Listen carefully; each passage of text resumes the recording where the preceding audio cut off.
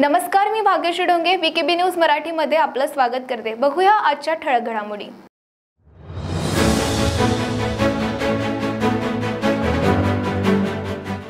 Railway बोर्डाच्या समितीकडून करण्यात आली रेल्वे स्थानकाची पाहणी. एकोणतीस जून नंतर केल्या जातील रेल्वे सेवा पूर्ववत.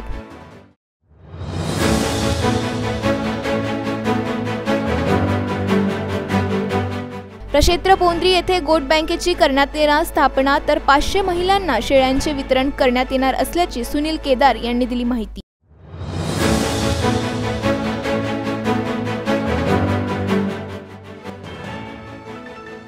आणि तीस वर्षीय इसमाने केला सहा वर्षाच्या मुलीवर बलात्कार. मारेगाव पोलिसांनी काही तासातच आरोपीला केले जेरबंद.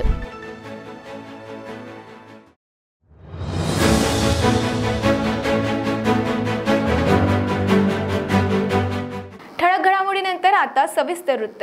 कोरोनाच्या कार्यामुळे दोन वर्षापूर्वी रेल्वे प्रशासनाने सर्व रेल्वे गाड्यांना थांबा दिला होता. आता कोरोनाची परिस्थिती निवळल्यानंतर रेल्वे विभाग टप्प्याटप्प्याने रेल्वे गाड्या सुरू करीत आहे. यामध्ये एकोणतीस जून पासून सर्व गाड्या सुरू होतील व पॅसेंजर गाड्या नियमितपणे धावतील असे आश्वासन रेल्वे बोर्डच्या प्रवासी सुविधा समितीने दिलंय. भुसावळ रेल्वे विभागाअंतर्गत येणाऱ्या अमरावती बडनेरा मूर्तिजापूर अकोला शेगाव खामगाव आदी रेल्वे स्थानकावर प्रवाशांना देण्यात येणाऱ्या सेवा व सुविधांचा आढावा घेण्याकरता रेल्वे प्रशासनाने तीन सदस्यीय समिती नियुक्त केलेली आहे. शेगाव रेल्वे स्थानकावरील सार्वजनिक सेवा व सुविधांचा आढावा घेण्यासाठी ही तीन सदस्यीय प्रवासी सेवा समिती मंगळवारी येथे दाखल झाली होती. या समितीने रेल्वे स्थानकावर पोहोचून येथील सेवा व सुविधांचा आढावा घेतला. यावेळी खामगाव विधानसभा मतदारसंघाचे आमदार ॲडव्होकेट आकाश पुणकर यांच्यासह रेल्वे अधिकारी आणि स्थानिक समिती सदस्यांनी रेल्वे बोर्डाच्या प्रवासी सुविधा समिती प्रमुख डॉक्टर राजेंद्र फडके कैलाश वर्मा आणि ॲडव्होकेट श्रीमती विभा अवस्थी यांचे स्वागत सत्कार करण्यात आले.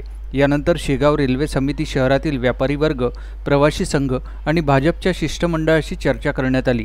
ते म्हणाले की कोविडपूर्वी रेल्वेने पुरविलेल्या सेवा आणि सुविधा न मिळाल्याने प्रवाशांना अडचणीचा सामना करावा लागत आहे आणि त्यामुळे रेल्वेच्या उत्पन्नावर परिणाम होत असल्याची रेल्वे बोर्डही दखल घेत आहे. हे पाहता कोविड निर्बंध आणि अटीसाठी एकोणतीस जून ही अंतिम मुदत निश्चित करण्यात आली आहे. यानंतर रेल्वे आपल्या पूर्वीच्या सेवा आणि सुविधा प्रदान करेल असे ते म्हणाले. यावेळी रेल्वे स्थानकातील सर्व विभाग प्रमुख प्रामुख्याने उपस्थित होते. व्ही के बी न्यूजसाठी बुलढाणा येथून राजवर्धन शिगावकर यांची रिपोर्ट. पुसद शहरातील बसस्थानक परिसरात उभी करून ठेवलेली दुचाकी अज्ञात चोरट्याने दिनांक पाच मे रोजी दुपारी दोन वाजताच्या दरम्यान लंपास केल्याची घटना उघडकीस आली होती. तर चोरटा सीसीटीव्ही कॅमेऱ्यात कैद झाला होता. यावर दुचाकी चोरल्याप्रकरणी शहर पोलीस ठाण्यात अज्ञात चोरट्याविरुद्ध गुन्हा दाखल करण्यात आलाय. पुसद येथे बसस्थानक बाहेर उभी असलेली दुचाकी चोरी गेल्याची घटना उघडकीस आली होती. प्राप्त माहितीनुसार सुदर्शन नगर येथे राहणारे शेख अक्रम शेख अजमल वय अडतीस यांनी दुचाकी चोरी झाल्याप्रकरणी तक्रार दिली आहे. त्यांनी आपल्या तक्रारीत सांगितले की त्यांचे वडील शेख अजमल शेख फरीद हे नातेवाईकांना सोडविण्यासाठी पाच मे रोजी दुपारी बसस्थानक पुसद येथे होंडा शाईनने गेले होते. त्यांनी मोटरसायकल बसस्थानकातील कॅन्टीनच्या बाजूला प्लॅटफॉर्म नंबर एक येथे उभी करून नातेवाईकास बसमध्ये बसविण्यास गेले व त्यांना बसमध्ये बसून परत आले असता दरम्यानच्या वेळेस त्यांची होंडाशाईन दुचाकी किंमत पंधरा हजार रुपये कोणीतरी अज्ञात चोरट्याने लंपास केली. दुचाकी दिसत नसल्याने फिर्यादी व त्यांच्या वडिलांनी आजूला बाजूला शोध घेतला असता त्यांची दुचाकी कुठेही आढळून आली नाही. अखेर चौकशीअंती दुचाकी चोरी झाल्याप्रकरणी फिर्यादी शेख अक्रम यांनी नऊ मे रोजी शहर पोलीस स्टेशन गाठून अज्ञात चोरट्याविरुद्ध तक्रार दाखल केली. त्यांच्या तक्रारीवरून पोलिसांनी गुन्हा नोंद केला असून त्या अज्ञात चोरट्यांचा शोध सुरू केला असून बसस्थानकातील सी सी टी व्ही कॅमेऱ्यामध्ये चोरटा कैद झाला. सी सी टी व्हीचा पोलीस पुढील तपास करीत आहेत. व्ही के बी न्यूजसाठी यवतमाळ येथून अजित महिंद्रे यांची रिपोर्ट. धुळे शहरातील आग्रा रोडवरील स्वर्ण पॅलेस सराफ दुकानदाराला दुकानातील दोघा राजस्थानच्या कारागिरांनी अवघ्या नऊ दिवसातच तब्बल बहात्तर लाखांचे दागिने गंडविल्याची धक्कादायक घटना आज समोर आली आहे. दोघांनी या रकमेचे सोने चांदीचे दागिने परस्पर काढून घेऊन अपहार केलाय. या प्रकरणी दोघांवर धुळे शहरातील आझादनगर पोलिसात गुन्हा दाखल करण्यात आलाय. व्यापारी प्रकाश जोरावरमल चौधरी यांचे जुने आग्रा रोडवरील स्वर्ण पॅलेस नावाचे दुकान आहे. दिनांक एक ते दहा एप्रिल दरम्यान दुकानात सोने विभागाचे स्टॉकचे देखरेख करणारे शांतीलाल हमीराम कलबी व त्याचा साथीदार किशोर नटवरलाल कोली यांनी मालकाचा विश्वासघात केला. त्यांनी दिलेल्या जबाबदारीचा गैरवापर करून दुकानातील तब्बल बहात्तर लाख रुपये किमतीचे सोने व चांदीचे दागिने परस्पर काढून घेऊन अपहार केला. नऊ एप्रिल रोजी हा प्रकार व्यापारी प्रकाश चौधरी व त्यांचे भाऊ सरदारमल चौधरी यांच्या लक्षात आला. या प्रकरणी राजस्थानच्या दोघांवर गुन्हा दाखल करण्यात आला आहे. सोने चांदीच्या स्टॉकमध्ये अपहार झाल्याचे लक्षात आल्यानंतर व्यापारी चौधरी बंधूंना मोठा धक्का बसला. त्यानंतर त्यांनी दुकानातील चांदी खात्याचा हिशोब व व्यवहार बघणारा हितेश दिनेश कुमार जोशी व सोन्याचा स्टॉक बघणारा शांतीलाल कलबी या दोघांची चौकशी केली. तेव्हा त्यांनी परस्पर दागिने काढून घेतल्याची कबुली दिली. तसेच यात किशोर कोली याचाही सहभाग असल्याचे सांगितले. त्यानंतर दोघांनी सात दिवसात तुमचा संपूर्ण माल परत आणून देतो असे सांगितले. मात्र दिनांक तेरा एप्रिल रोजी हितेश जोशी यांनी आत्महत्या केली. तर शांतीलाल कलबी हा तेव्हापासून फरार झाला आहे. फिर्यादी प्रकाश जोरावल चौ चौधरी वयवर्ष त्रेपन्न यांचं आग्रा रोडला सुवर्ण पॅलेस नावाचं सोन्या सोन्या चांदीचं दुकान आहे. त्यांच्या दुकानामध्ये काम करणारे काम दोन कामगारांनी ज्यांच्याकडे सोन्या चांदीचा स्टॉक ठेवायला दिला जातो ते गेल्या सात ते आठ वर्षापासून त्यांच्याकडे काम करतात. सर्व स्टॉक ठेवणे सर्व स्टॉकच्या नोंदी घेणे हे जबाबदारी त्या आरोपींवर होती. एप्रिल महिन्यामध्ये या आरोपींनी सदर स्टॉकमधून आठशे ग्रॅम वजनाचे सोन्याचे दागिने आणि दोनशे ग्रॅम सोन्याची लगड तसेच बत्तीस किलो जवळपास चांदी याचा त्यांनी मालकाला कुठल्याही प्रकारची माहिती न होऊ देता अपहार करून तिथून दागिने काढून बाहेर कोणाला तरी त्यांनी विकलेले आहेत ज्यावेळेस फिर्यादीने स्टॉकची पडताळणी केली त्यावेळेस स्टॉकमध्ये जवळपास एक किलो सोने आणि बत्तीस किलो चांदी हे शॉर्ट मिळाल्यामुळे त्यांनी चौकशी केल्यानंतर त्यांच्या असं लक्षात आलं की ज्यांच्याकडे स्टॉक ज्या दोन आरोपीकडे स्टॉक ठेवायला दिला जातो त्यांनीच या स्टॉकमध्ये अपहार करून त्यांची फसवणूक केलेली आहे. सदरचा गुन्हा आझादनगरला आझादनगर पोलीस स्टेशनला एकशे सहा अब्लिक बावीस भारतीय दंडविधान संहिता कलम चारशे सहा चारशे आठ चौतीस प्रमाणे दाखल असून आमची पी एस आयमध्ये पुढील तपास करत आहे. नागपूर जिल्ह्यातील पाचशे महिलांना सहभागी करून पुण्यश्लोक अहिल्यादेवी महाराष्ट्र मेंढी व शेळी महामंडळाच्या प्रक्षेत्र बोंद्री येथे गोट बँकेची स्थापना करण्यात येणार आहे. या अंतर्गत महामंडळाच्या निधीतून पाचशे महिलांना शेळ्यांचे वितरण करण्यात येणार आहे. कारखेडा गोट प्रोड्युसर कंपनी यांच्या संयुक्त विद्यमाने गोट बँकेचे संकल्पनेतूनच हा उपक्रम राबविण्यात येणार असल्याचे पशुसंवर्धन दुग्ध व्यवसाय मंत्री सुनील केदार यांनी सांगितले. प्रक्षेत्र बोंद्री येथे गोट बँकेची स्थापना करण्यात येणार आहे. या अंतर्गत महामंडळाच्या निधीतून पाचशे महिलांना शेळ्यांचे वितरण करण्यात येणार आहे. मंत्रालयात पुण्यश्लोक अहिल्यादेवी महाराष्ट्र मेंढी व शेळी विकास महामंडळाच्या आढावा बैठकीत ते बोलत होते. यावेळेस पशुसंवर्धन विभागाचे प्रधान सचिव जे पी गुप्ता आयुक्त सचिंद्र प्रताप सिंग अतिरिक्त आयुक्त धनंजय परकाळे महामंडळाचे व्यवस्थापकीय संचालक डॉक्टर शशांक कांबळे यांच्यासह प्रक्षेत्र व्यवस्थापक उपस्थित होते. श्री केदार म्हणाले आमचे सरकार आल्यानंतर महामंडळाची आर्थिक स्थिती सुधारली आहे. आता अधिकृत भाग भांडवल शंभर कोटी रुपये झाले आहे. तसेच महामंडळाची सरासरी वार्षिक आर्थिक उलाढाल चाळीस कोटी रुपयापर्यंत पोहोचली आहे. पूर्वी राज्यात दहा प्रक्षेत्र होते ते आता सोळा झाले आहेत. मांडग्याळ या मेंढीच्या जातीस केंद्र शासनाचे मानांकन प्राप्त झाले आहेत. मांडग्याळ ही मेंढीची जात महाराष्ट्रात प्रसिद्ध जात म्हणून ओळखली जात आहे असे त्यांनी सांगितले. इतर देशातून उच्च जातीच्या शेळ्या राज्यात आणण्यात येणार आहेत. लोकरीचे विविध प्रकारची उत्पादने निर्माण करून विक्रीस उपलब्ध करण्यात येणार आहेत. शेतकऱ्यांना जोडधंदा सुरू करून त्यांना रोजगार उपलब्ध करून देण्यासाठी मदत करण्यात येणार असल्याचे श्री केदार यांनी सांगितले. अक्कलकोटमधील लोकसेवा पान शॉपवर अचानक एका टेम्पोने धडक दिली चालकाचं नियंत्रण सुटल्याने टेम्पो थेट पान शॉपच्या दारावर येऊन आढळलाय. यामध्ये पान शॉप समोर थांबलेल्या एका तरुणास किरकोळ जखम झाली आहे आणि हा सर्व प्रकार सीसीटीव्ही कॅमेऱ्यात कैद झालाय. सोलापूर जिल्ह्यात सध्या हा व्हिडिओ चांगलाच व्हायरल होतोय. वेळ झाली आता एका छोट्याशा ब्रेकची भेटूया ब्रेक नंतर. बाय सब जानना चाहते हैं।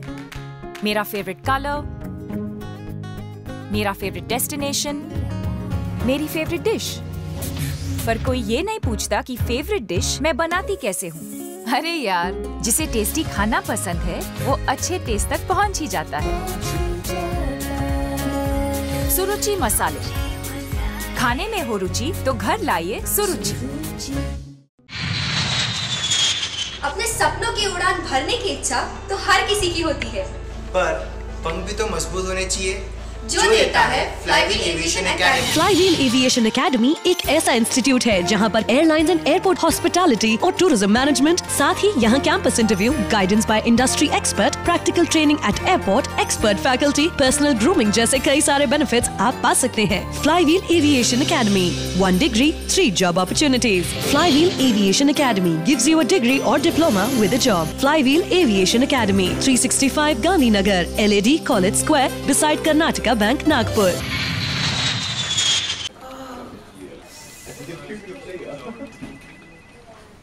boss ने मीटिंग बुलाई। क्या यार? आदमी की तकलीफ़ को तो समझो।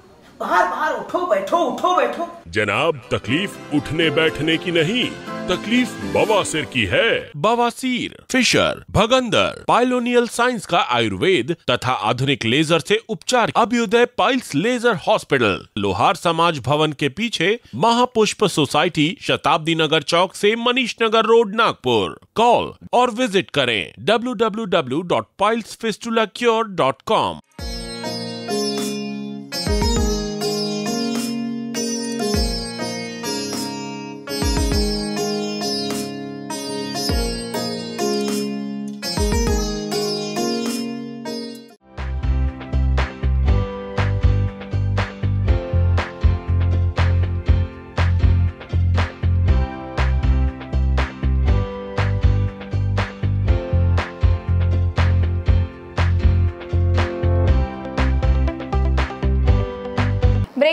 आपलं स्वागत.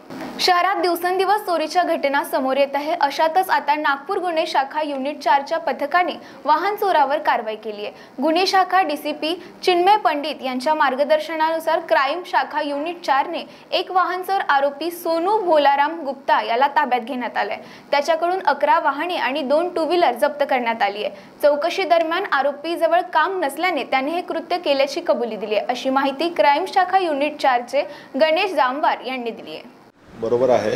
आज नागपूर शहर येथील गुन्हे शाखा युनिट चार आमच्या पथकाने माननीय डी सी पी गुन्हे शाखा श्री चिन्मय पंडित सर यांच्या मार्गदर्शनाखाली आम्ही एक आरोपी आठ ताब्यात घेतलेला आहे. त्याच्याकडून अकरा वाहने टू व्हीलर जप्त केलेले आहेत. त्यामध्ये शक्करदरा पोलीस स्टेशन अंतर्गत दोन हुडकेश्वर अंतर्गत तीन कोतवाली अंतर्गत तीन आणि वाठोडा मानकापूर आणि तहसील पोलीस स्टेशन अंतर्गत एक एक असे एकूण अकरा वाहने आम्ही जप्त केलेली आहेत. पुढील कारवाई करीत आहोत. मारेगाव तालुक्यातील मेंढणी व नवरगाव बलात्कार व विनयभंग प्रकरण ताजे असतानाच आज आणखीन एक बलात्काराची घटना घडली आहे. कालच्या बलात्काराच्या घटनेतून मारेगाव तालुका सावरले नसतानाच मंगळवारी पहाटे आणखीन एक धक्कादायक प्रकार तालुक्यातील पहापळ येथे घडलाय. एका तीस वर्षीय विवाहित इसमाने सहा वर्षाच्या मुलीचे अपहरण केले आणि तिच्यावर बलात्कार केलाय. या प्रकरणी मारेगाव पोलिसांनी काही तासातच आरोपीला जेरबंद सुद्धा केले पोलिसांनी दिलेल्या माहितीनुसार पीडित मुलीचे कुटुंब पहापळ येथे राहते. नऊ मे रोजी पीडिता तिच्या आजीसोबत शौचास गेली असता त्यावेळेस नराधमाने पीडित मुलीला उचलून पहापळ शेतशिवारात नेले. तिथे नेऊन तिच्यावर बलात्कार केला. दरम्यान काही वेळाने घरच्यांना मुलगी दिसत नसल्याने प्रथम त्यांनी परिसरात आजूलाबाजूला मुलीचा शोध घेतला. मात्र रात्र जागून मुलीचा पत्ता लागला नाही. तर दहा मे रोजी सकाळी पहाटे एका शेताशेजारी काट्यांच्या फासात आढळून आली असून घरच्या सदस्यांनी मुलीला घरी नेऊन मुलीला विश्वासात घेऊन विचारपूस केली असता पीडित मुलीने घरच्या सदस्यांना या घटनेची माहिती दिली. त्यानंतर त्यांनी तात्काळ मारेगाव पोलीस स्टेशन गाठले. आरोपी मारुती मधुकर भेंडाळे या आरोपीला पोलिसांनी मोठ्या शिताफीने वडकी येथून अटक केली असून घटनेचा पुढील तपास विभागीय पोलीस अधिकारी यांच्या मार्गदर्शनाखाली मारेगाव पोलीस पुढील तपास करत आहे. व्ही के बी न्यूजसाठी मारेगाव येथून अजित महिंद्रे यांची रिपोर्ट. अजिंठा पर्वत रांगेत असलेल्या ज्ञानगंगा अभयारण्याने बुलढाणा शहराला वेढा घातलेला आहे या अभयारण्यात विविध प्राणी व पक्ष्यांसाठी पूरक वातावरण असल्याने अभयारण्यात विविध जाती प्रजातीचे पक्षी आणि प्राणी वास्तव्यास आहे. या प्राण्यांची गणना कोरोनाच्या दोन वर्षानंतर बुद्ध पौर्णिमेला होणार असल्याची माहिती वनपरिक्षेत्र अधिकारी चेतन राठोड यांनी दिली आहे. ज्ञानगंगा अभयारण्याचे क्षेत्रफळ दोनशे पाच चौरस किलोमीटर आहे. येथे प्रामुख्याने अस्वलांची सर्वाधिक संख्या असल्याने ज्ञानगंगा अभयारण्य अस्वलाचे माहेरघर म्हणून देखील ओळखले जाते. दरवर्षी बुद्ध पौर्णिमेला प्राणीगणना केली जाते. मात्र कोरोनाच्या दोन वर्षाच्या काळामध्ये ही प्राणीगणना बंद होती. परंतु आता कोरोना प्रादुर्भाव कमी झाल्याने यावर्षी सोळा मे रोजी बौद्ध पौर्णिमेच्या रात्री प्राण्यांची गणना केली जाणार आहे. यासाठी वनविभागाने अभयारण्यात एक्केचाळीस कृत्रिम पाणवठे तयार करून त्याच्याजवळ एक्केचाळीस मचान बांधले आहे ज्याच्या माध्यमातून पाणवठ्यावर पाणी पिण्यासाठी आलेल्या प्राण्यांची नोंद केली जाणार आहे. दोन हजार एकोणीसमध्ये ज्ञानगंगा अभयारण्यात प्राणी गणनेनुसार बिबट पंधरा अस्वल पंच्याहत्तर नीलगाय चारशे पंचवीस रानडुक्कर तीनशे पंच्याहत्तर त्याचबरोबर चितळ सायळ मासन्याऊत खवले मांजर यासह विविध प्रजातीचे प्राणी आढळलेले आहेत.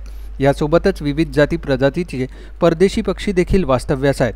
दोन महिन्यानंतर पावसाळा सुरू होईल. त्यावेळी शहरात कुठेही पाणी साचू नये. याकरिता कामठीत नाला सफाई मोहीम जोमात सुरू करण्यात आली आहे. याकरिता कामठी नगर परिषदेच्या वतीनं एक पाऊल पुढे करीत दयनीय अवस्था झालेल्या नाले सफाईवर जोर दिला जातोय. कामठी शहराला लागून असलेला भागडोर नाला व शहरातील नाल्याचे गाळ काढणे तसेच सफाईच्या कामाला गती देण्यात आली आहे. कामठी शहरातील मोठमोठ्या नाल्याची दयनीय अवस्था झाली आहे. त्या मोठ्या नाल्यांमध्ये कचरा मोठ्या प्रमाणात जमा झाला आहे. त्याची आपत्ती व्यवस्थापन अंतर्गत शहरातील लहान मोठे नाले स्वच्छता करण्याची गरज आहे. ज्यामुळे शहरात पावसाच्या पाण्याचा प्रवाह सुरळीत ठेवला जातो. पावसाळ्यात स्वच्छतेअभावी मोठ्या प्रमाणात रोगराई पसरते. त्यामुळे शहरातील नाल्यांची सफाई होणे पावसाळ्यापूर्वी आवश्यक आहे. यासाठी नगरपरिषद प्रशासनाकडून समाधानकारक उपाययोजना व अपेक्षित सुरुवात झाली असल्याचे दिसून येत आहे. व्ही के बी न्यूजसाठी कामठी येथून नितीन रावेकर यांची रिपोर्ट. मान्य जिल्हाधिकारीने आपत्ती व्यवस्थापन अंतर्गत सभा ली येते पूरे नागपुर जिले की नागपुर जिले की सभा में म- जिल्हाधिकारी जिलाधिकारी की तरफ से सक्त निर्देश थे की पावसाळापूर्वी तुम्हाला सगळे नाले साफ करायचे आहे. आता नगर परिषद कामठीकडून टेंडर काढून आम्ही ना हे सर्व नाले बागडोर नाला कारण की कामठी हे कनान नदीच्या लगेच असल्याकारणास आपल्याला पावसाळ्यापूर्वी संपूर्ण नाल्यांची सफाई करायची आहे. म्हणून आमचे आता दोन ते तीन नाले साफ झालेले आहे. बागडोर नाल्याची सफाई चालू आहे आणि गावातले आत भागीतले जे नाले आहे ते सहा जूनच्या पहिले आम्ही पूर्ण करणार आहोत. विकेबी न्यूज मराठीमध्ये आता एवढंच. उद्या पुन्हा भेटूया नवीन घडामोडींसोबत. बघत रहा विकेबी न्यूज. नमस्कार.